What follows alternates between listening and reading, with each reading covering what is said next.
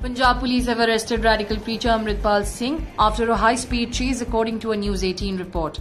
Meanwhile, internet services in the state have been suspended till 12 pm Sunday. Earlier on Saturday, Amritpal's cavalcade was reportedly intercepted by police in Mehatpur village in Jalandhar district, during which six of his supporters were held. According to multiple reports, the Waris Punjab De chief was chased down by some 100 police vans. More information awaited.